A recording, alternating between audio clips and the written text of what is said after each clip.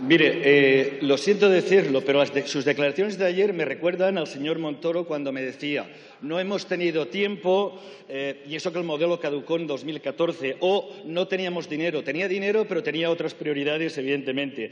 Y no me gustaría, y lo digo de corazón, no me gustaría que hiciera usted lo mismo que el señor Montoro. La comunidad autónoma valenciana, usted le sabe, es un 12% más pobre que la media española y nuestra balanza fiscal es claramente desfavorable.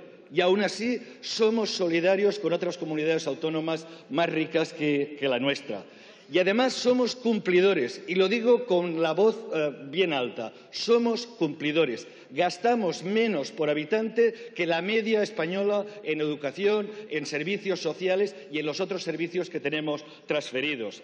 Eh, nuestra deuda es de 46.000 millones. Cada valenciano y cada valenciana cuando viene al mundo debe 9.600 euros. Y eso es producto básicamente de esta infrafinanciación. Por tanto, este modelo ya es un modelo injusto, caduco, eh, abusivo y no puede usted venir ayer en, el Senado y decir que quiere agotar la legislatura y que no va a poder reformar el sistema de financiación.